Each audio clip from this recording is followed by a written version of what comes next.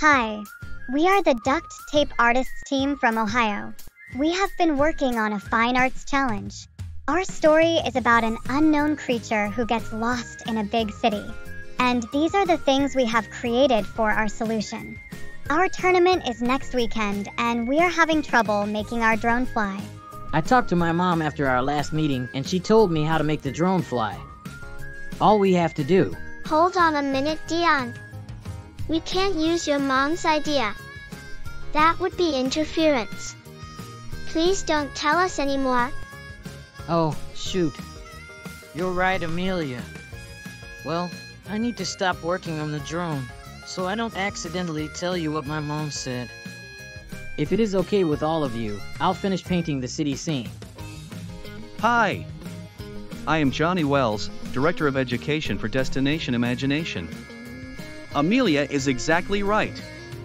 Parents, team managers, and anyone who is not a team member may not give the team ideas or make or fix props or costumes. Hey, thanks for coming to our meeting, Mr. Wells. I'm confused. Can our parents and team manager help us at all? Great question, Dion. Let's go sit in the next room and talk about interference. In answer to your question, Dion, let's talk about the things your team manager and parents can do to help you. Your team manager can teach you skills you want to learn. If you want to learn to use a skill saw, write code, or paint scenery, your team manager can teach you the skill or find someone who can teach you. However, the person teaching you the skills must not use any of the parts of your solution to teach you a skill. You must build everything in your solution yourselves. If you need materials for your project, you can make a list for your team manager and they can pick them up for you. Your team manager can teach you project management skills and help you track your ideas and tasks. And if you are having disagreements, your team manager can intervene and help you find ways to solve the issue. They can even tell you to work on something else and come back to the disagreement once everyone has calmed down. Your parents can help you as well, but they cannot give you ideas or build anything for you. Parents can teach you skills. If one of your moms is an engineer, she can work with your team manager and teach you about engineering. To avoid interference, the lesson should be completed at a team meeting with the team manager present.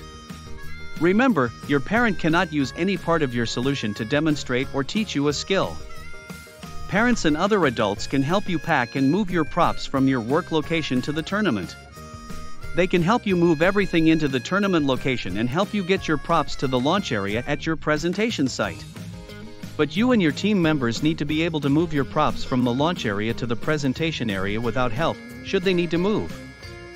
Your parents can help with cleanup at the end of meetings or after the tournament. They can volunteer to help at the local tournament.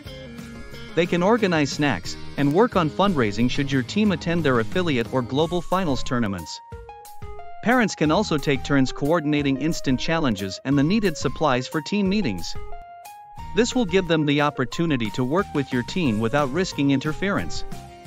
If you all work together and follow the interference guidelines, you will create a challenge solution that was imagined, designed, and built entirely by your team and no one else. Good luck! I know you will figure out how to get your drone to fly.